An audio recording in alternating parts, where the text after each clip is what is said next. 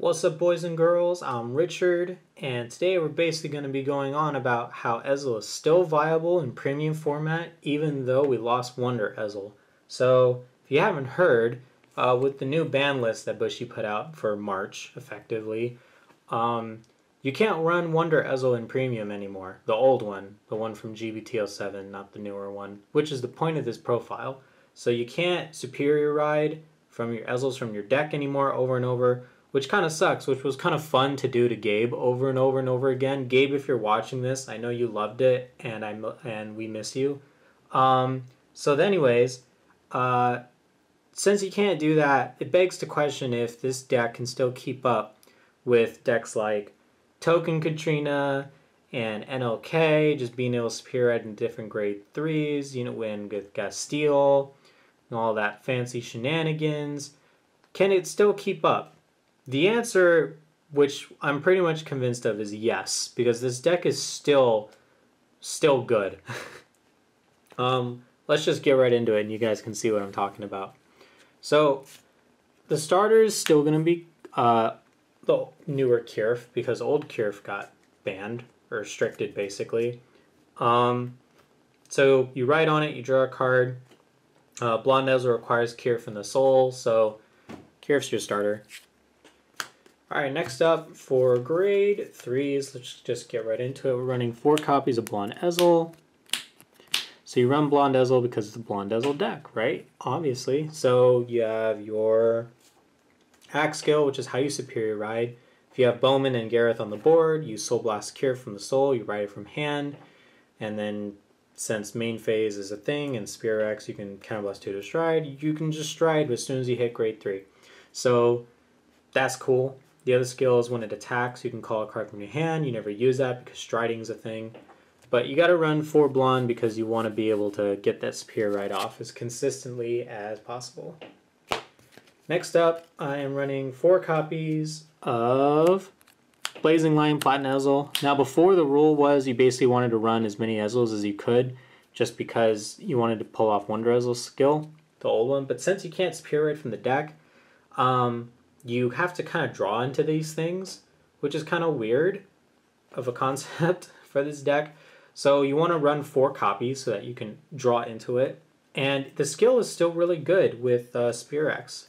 So what it does is act, you counterblast one. It changes your first drive check of the turn to looking at the top two, call one to the board, trigger check the other. Um, and if you have two or more grade threes in the soul, then it applies to your second or more drive check. So if you have two grade threes in the soul, you go into you do this skill, go into Spear X, your triple drive becomes looking at the top two per drive check, calling one, picking the other, essentially looking at the top six and picking your triggers.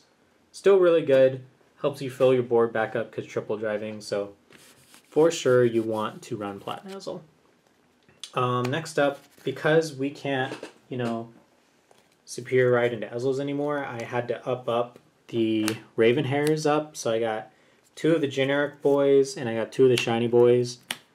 Planning on getting more shiny boys if I actually end up playing this deck in person ever. Rip Premium. Why does no one like this format?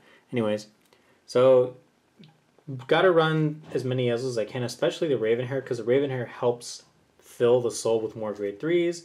So if I go into Blonde Ezel, and let's say I cannot superior stride into Spear uh, if I'm missing like the combo to you know stride on while my opponent's at grade one, if I don't have the damage needed, um, this is an alternative for sure. It's a it's a pretty decent alternative. You counterblast one act. If your Vanguard is Blonde Ezel, you ride it from hand, and so that gives you another gift. And the other skill is when it attacks, you counterblast one, and it gains 15k in extra crit, and your opponent can't use Sentinels. So it's still good early game, pushes a lot. Uh, it sucks because the whole point of Wonder Ezel is you do this, then you call Wonder Ezel, and then you search out Platina and ride Platina, do Platina skill, and then blah blah blah blah blah. So the deck is slowed down a lot, but you still want to have the Ezels to even get Platina Ezel off to begin with.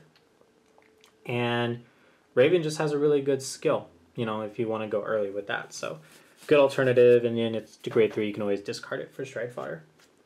All right, on to the fun stuff, which is the grade twos.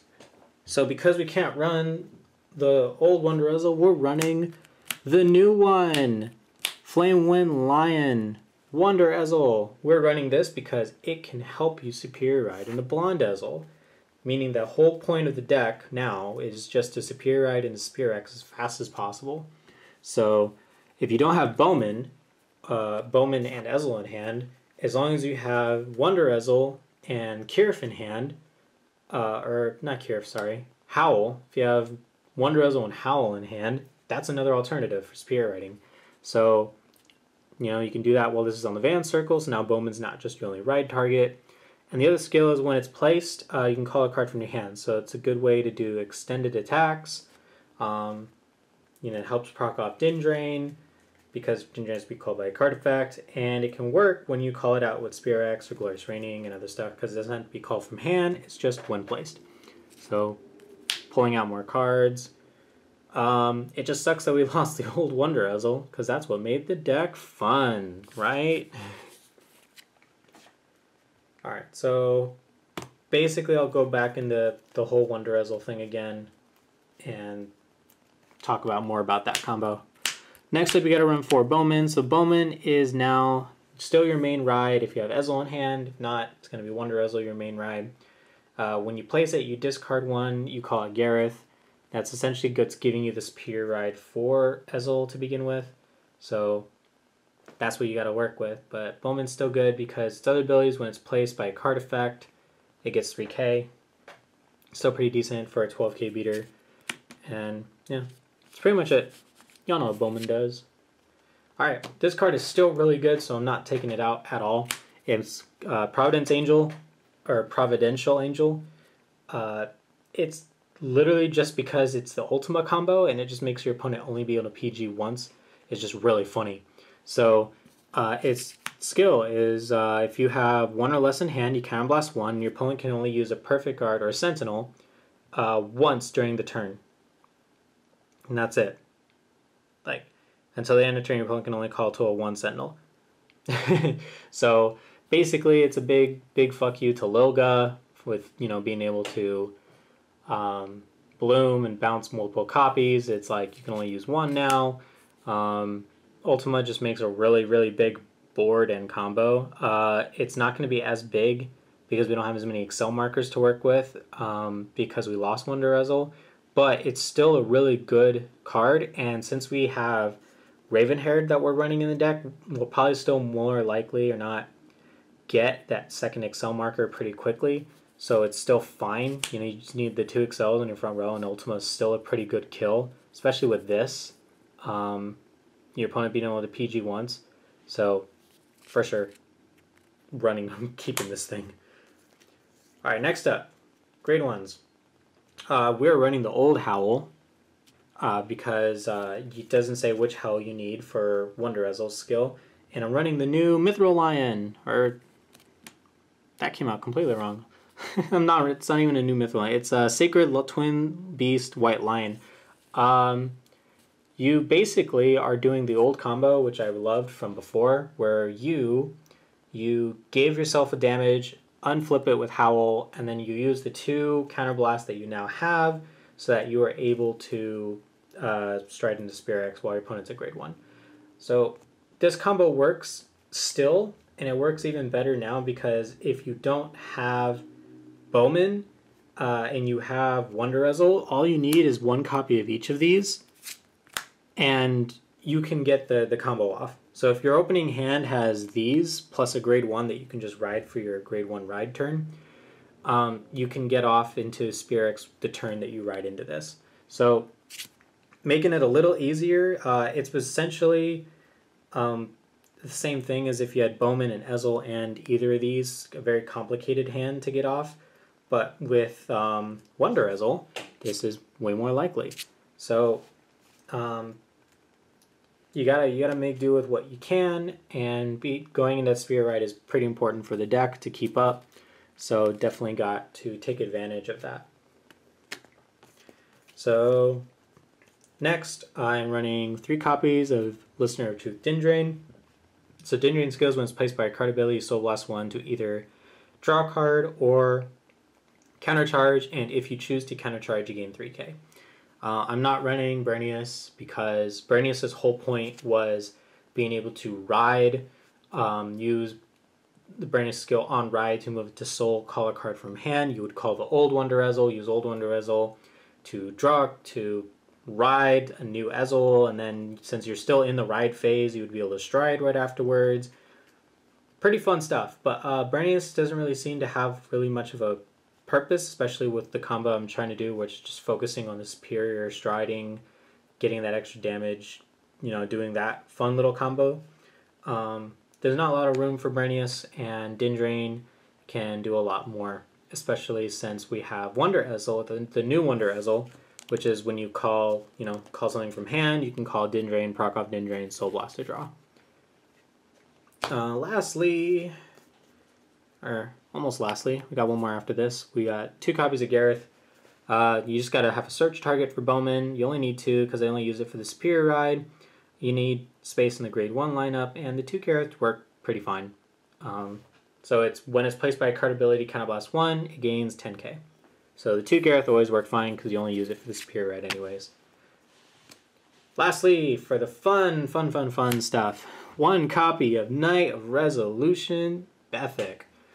So, uh, if you did watch uh, the finals for Worlds, uh, you know you'll know that Gold Paladin won not with Ultima or Spear X or any. It was with the GB8, which was really funny, and the and it was because it comboed off with this card. So I'm literally only running this just for that GB8 combo. I was trying to play test it with Gabe, and it was just very difficult. Like I just wouldn't get end up getting to GB8. The game would just kind of be over before then, or Ultima would be the obviously better choice. But uh, since this deck is a lot slower now and we have a lot less Excel markers to work with, there could be the possibility that striding into something else or waiting to get to GB8 would be the alternative. Therefore, keeping this lying around for funsies would be really cool. So, um, I'll just read off the skill. It's uh, its effect is basically based off the number of things you called for the turn. So two or more, it gains 5k. Four or more, uh, it does not rest when it boosts. So if it has that ability from Celtis Winter, which is on boost, uh, look at top, at the end of the battle that it boosts, look at top two, call something. Since it's not resting, you can still boost it over and over and over again. So, and if you put a trigger on this and you keep on calling things, this still keeps the power, keeps giving that boosted power from the trigger over and over and over again, essentially looping the deck until you run out of cards. Pretty fun stuff. Uh, lastly, the pretty obvious stuff. It's uh, crits and triggers. So we got four of our vanilla V series crit, which is Win Victory because it's classic. Uh, four copies of Theodora because it's a trigger with the skill for premium that gives 10k. And it's when your Vanguard attacks, move to Soul, draw a card, then gets 10. GB1, obviously. Um, four heals because, you know, you gotta heal. And uh, G Guardians exist, and 20k shields are nice. And then four copies of your PGs because, you know, draw triggers are cool, and draw triggers that are Sentinels are also cool. So, lineup has never really changed for the trigger lineup in this deck. Gotta keep it simple. Lastly, we're going back into the G zone. So I am running three copies of Spear X because this is basically how you want to get the deck to function. So uh, what it does is act uh, if your Vanguard's at grade 3 and you call two more things with a turn, Unite, uh, you counterblast 2, discard any card from your hand, and you stride it from your G zone face down. And then the other ability is once per turn, you Soul Blast 1, flip a card in your G zone face up, and you look at the top 5, and you call two among them, call them, shuffle your deck. Pretty simple, but really, really good. Combos really well with Platina, because you use Platina first, then you use this. So you have your triple drive becomes like looking at scrying six and picking your triggers. Um, and just being able to stride while your opponent's at grade one is a pretty pretty cool idea. Not gonna lie. So definitely want to run multiple copies of this, and I ran running three because the comboing off of Platina is so good that I might want to do it more than once. And there are times when if there is a game where I can't really do anything other than just stride normally, this is the best stride target just because It doesn't have a unite requirement to function. It just has its ability to call two cards for free essentially since you have plenty of soul. So makes it a really good stride target. Don't want to run out of copies of this to go into because it's just that good of a card. Uh, next up, I'm running three copies of Gurgit Helios, classic boy right here. So Gurgit Helios uh, gives you quad drive uh, if you're in Unite, or sorry, if you flip a copy of itself, uh, it gets quad drive, and then Unite ability is uh, no, sorry, I did get it right. It was the Unite ability is a quad drive. Man, reading is hard. The GB3 is um, this gets 5k for each of your rear guards, and your opponent cannot guard a grade 1 or higher. Not really that important unless you're playing against decks that you know for a fact run grade 1 PGs, like Neonectar maybe running um, Lilga, and Shadow Paladin Lord running Ezras for their grade 1 PGs. This could come in handy for that, but they still have G Guardians that can fill up the shield really well, so the GB3 is alright. But the main point of this is for the quad drive. I'm running three because I just uh, basically use one as flip fodder, and if I decide not to use flip fodder, I still can use two to flip for the skill, and the third one, the GB3, is still really good. I don't need the quad drive, so three copies is enough. Next up, I'm running two copies of Glorious Reigning. Glorious Reigning is basically for those situations where I'm like, hmm, you know, I have a, a pretty decent amount of Excel markers since I got all the way up to plat, uh, Platina Ezel with my three markers and my board. Um, maybe I can go into Glorious and, you know, multi-attack my opponent to death. You know, situational card. So what it does is, uh, when it attacks, if you unite, you count plus one, flip a copy of itself in the G zone, choose two rearguards, return them to the bottom of the deck. You look at the top seven, and from those seven, you call equal to the number of face-up cards in your G zone, and uh, shuffle the rest back into your deck. And if you call three or more, you countercharge and soul charge. So you get the countercharge, repaying its cost. You gain soul. Soul helps with like Din Drain and stuff, but not a lot of stuff in this deck. Soul blasts a lot. Uh, I might start running Maligant just to countercharge more. Uh, I might take out take out Bethok just because if I'm finding myself not using the GB8 at all, it's not really worth it. I'd rather have the counter charge just so I can, you know, use Ultima and stuff like that. Um, but, you know, Glorious Reigning situational card, good for multi-attack, so pretty good to have in the deck. Uh, one copy of Radiant Sword Gurgit, the SGR. Uh, this is basically just flip fodder for the most part. Uh, I'm just going to use it right away to flip over for Spear X. Um, but if I do have a lot of the soul, which I mentioned before, I, you gain a lot of soul from uh, White Lion soul charging, from uh, Howl soul charging, you get, um, you know, Glorious Reigning, all this stuff. So you'll have plenty of soul to work with at one point if you're not going to be blasting all that soul. So what you can do is if you know for a fact like you have a pretty decent board going on, or you can make a board. You can just go into this, Blast 1, Soul Blast 2, do it multiple times, and you can give your Vanguard a really big buff.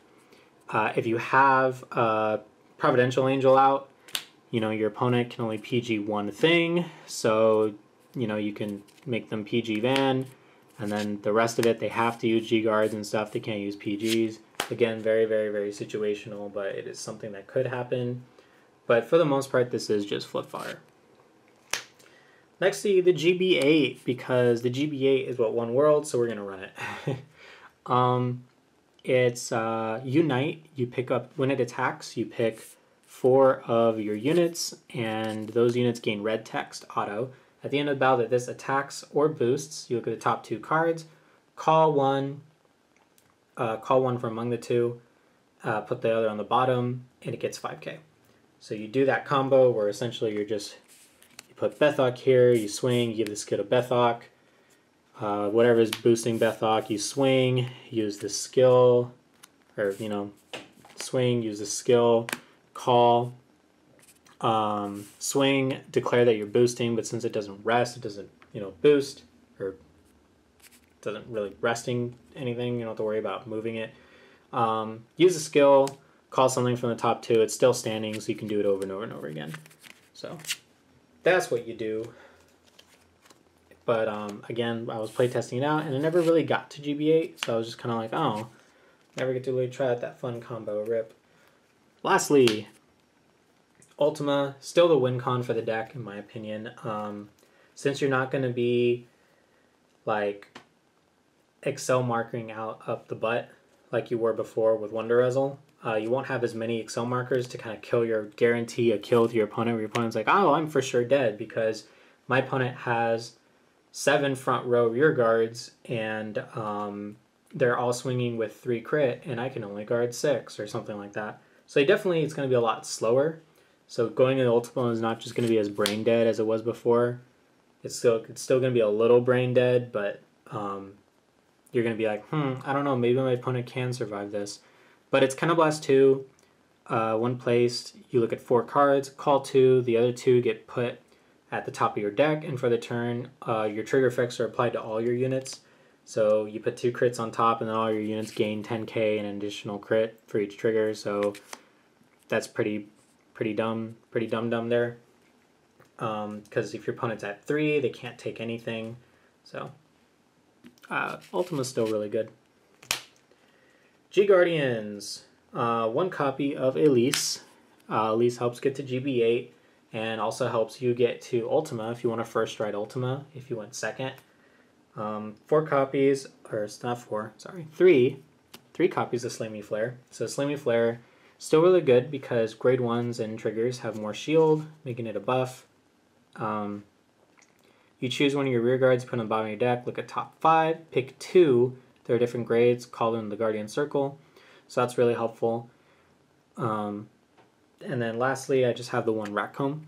Rack comb is basically flip, flip fodder, but um, comb since we do run grade ones with 5k shields, uh, they don't they might not really do much in terms of hand for guarding. So what you can do is you can go on a rack Ratcomb for a simple G guard that you will need to do, and you can use its skill to discard a grade one you know you don't need, and maybe draw into a more defensive card like a trigger, or maybe draw into something that you really need that you're looking for. So a drop and draw is always good.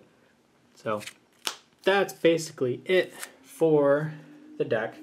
So I guess I'll just really, really, really quickly kind of explain the whole point. Is you are essentially you're supposed to be on your grade one.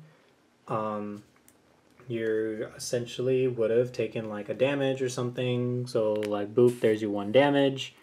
Uh, what you do is a turn you ride to grade two. You want to have um, a Wonder Ezel, a Mithril, and a Howl in your hand.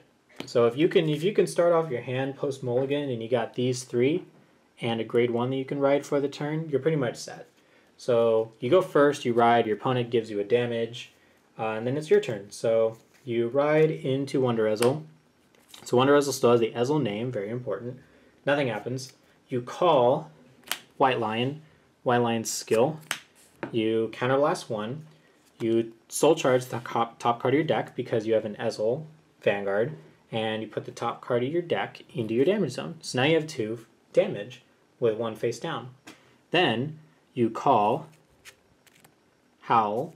So Howl's skill is if you have an Ezel Vanguard, you soul charge one, and you countercharge. So with that, you now have two face-up damage, which sets you up for Spear X. So then you use Wonder Ezel's skill, which is you Soul Blast 1, retire a Howl on your rearguard circle, and then you search your deck for a Blonde Ezel and write it from the deck. So now you're on a grade 3. So you get your gift, you choose gift 2 because you're good, and then you draw a card, and then since you're still in the main phase, you just counterblast 2, discard a card from your hand, and then you stride into Spear X. So this is all, well, essentially, if you went first, your opponent is still at grade 1 while this is all going on. So then now you're at Spear X, you can use its skill to Soul Blast and, you know, call cards from the deck. Um, you swing with your triple drive, and then at the end of the turn, you pick a card from your damage zone, it stays face down, and you return it back into the deck after that whole thing, and finishing off Lion's skill. So that's basically the whole point of running the old, the newer Wonder Ezel in the deck is to still be able to pull off that Spirit Ride combo, and still try to keep up with the the fast pacedness of the premium meta. So that's basically it for the deck eight, the the deck profile. um, and we'll see how this deck performs. You know, it, it might not be able to keep up with Katrina, who knows? But I do think that deck is still really, really, really good because of all the different techs and different things that you can do to help you stride. Being able to still go into Platina with Spear X is still a really good combo, which has helped the deck in the in you know in the past. And you know you still have Ultima, and Ultima is a really great win condition. So I think the deck is fine. I don't think it's dead for for sure. The deck is definitely not going to die in the meta, but it will definitely not be like as high as a representation as it was like at Worlds, where it was like almost like majority of the top eight was just Ezel decks, which was crazy and not okay. So, you know, we'll see how, how it goes. But this is what I would be playing if there were a premium locals that I could go to and enter with. And that's pretty much what I'd be playing. So I hope you all liked it. Leave your thoughts, comments, questions, and concerns below. And I'll see you all next time in the next deck profile. Bye.